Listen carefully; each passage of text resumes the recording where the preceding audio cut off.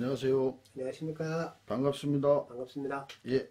2021년 신축년 뱀띠에 대해서 총각도사님 모시고 좋은 말씀 들어보겠습니다. 아, 제가 이런 말씀 드리면 안 되는데 제가 뱀띠거든요. 아, 그러십니까? 네. 운이 어떻습니까? 어, 저, 저 혼자 볼 때는 뱀띠 같은 경우는 좋아요. 예. 어, 근데 뱀띠 분들이 여지껏 고생을 하셨어. 너무 진짜 맨바닥을 긁었어요. 그래서 뱀띠 분들이 삼재가 들면서 그 전부터도 너무 힘들었는데 금전적으로, 인간적으로 내가 하는 일적으로 너무 막혀 있어요. 그러니까 쉽게 말하면 동서남북이 막혀 있었다고 보면 돼요. 그래서 이거는 뭐 우리가 빼박이라 그러죠. 이도 저도 못하는 빼박. 그래서 많이 힘드셨는데 올해 뱀띠 분들 같은 경우는 날 삼재를 맞이해서 올해 나가는 삼재에서는 좋은 삼재, 복삼재가 들어와 있어요.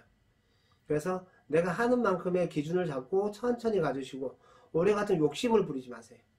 욕심을 부리시면 안 돼. 내 지금 현 상황에 맞게 또 현 상황에 맞은 행동을 하셔서 그 분수에 맞게 행동만 해주시면 정말 좋아요. 재물 운수는 어떻습니까? 어, 재물운 같은 경우는 올해는 상승 기운이 강하고 내가 변화 변동이 많은 운이기 때문에 이 뱀띠 분들은 올해 같은 경우는 변화 변동을 잘 따라가시면 금전도 저절로 따라가요. 그래서 금전운 같은 경우는 제가 봤을 때는 뱀띠 분들은 좀 많이 노력해 주시는 부분에서는 올해는 득이 많이 된다고 봐요. 문서운은 어떻습니까? 문서운이요? 예. 어, 문서운 같은 경우는 올해는 그러니까 쉽게 말하면 이 처음에 문서를 잡은 것보다는 중반 하반기에 잡는 문서가 내 문서가 돼요. 아니, 초반에 문서는 그냥 잡지 마시고 버리시는 게 좋아요. 그리고 중반 하반기에 들어오는 문서는 제 문서가 돼요. 그럼 그 문서는 꼭 잡고 가시면 좋아요. 승진운은 어떻습니까? 올해는 승진은 뱀띠 같은 분들은 승진운이나 관운이나 또 내가 올라가는 운은 올해는 생각지도 못했던 부분에서 올라가셔요. 그래서 아 나는 생각도 안 했는데 우리가 뭘 하다가 장기자랑 하나도 뽑 얼떨결 뽑히듯이 그렇게 좀 뽑혀서 올라갈 수가 있어요. 건강은 어떻습니까? 어, 건강운은 뱀띠분이 조심을 많이 하셔야 돼. 어디를 조심해야 됩니까? 어, 위 소화기도 그렇고요.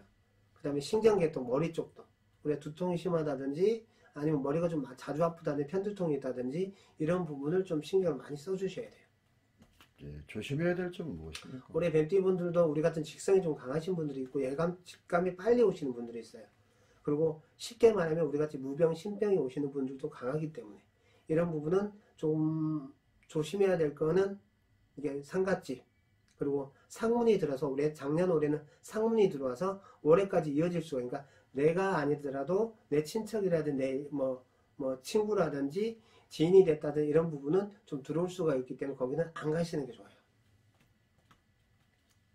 피해야 된다는 얘기입니다. 그렇죠. 예, 그러면 이분들의 금전운은 어때요? 어, 금전운 같은 경우는 지금 뱀띠 분들은 어, 올해 이제 신축년 들어서는 예, 금전운 같은 경우 3, 4년의 기운이 들어와요. 그게 뭐냐? 금전운이 3, 4년을 쭉 가지고 갈 수가 있다는 거예요. 좋게. 그래서 올해 같은 경우는 노력을 많이 해주시면은 금전운이 3, 4년을 그냥 쭉 가신다고 봐요. 좋게. 그리고 올해 같은 경우는 금전을 내가 바란 한 방은 안 되지만 올해는 꾸준하게 돌아가요. 금전을 쭉 따라가신다고 봐요. 시험운은 어떻습니까? 어, 시험운 같은 경우는 정말 올해는 좋아요. 그래서 내가 뭘 하고 싶다, 배우고 싶다, 노력을 해서 이걸 해야 된다, 하고 싶다, 시험을 치고 싶다, 올해는 가감하게 도전했을 때요. 왜? 올해는 정말 관운이 크게 들어와 있어요. 그래서 우리가 말하는 내가 원하는 건 뭐 시험을 쳐야 된다, 뭐 이걸 좀 해보고 싶다 하는 거는 좀 적극적으로 그러니까 이것저것 생각하지 마시고 올해는 진짜 올인을 해서 한번 해보시는 도전을 해보시는 것도 좋아요.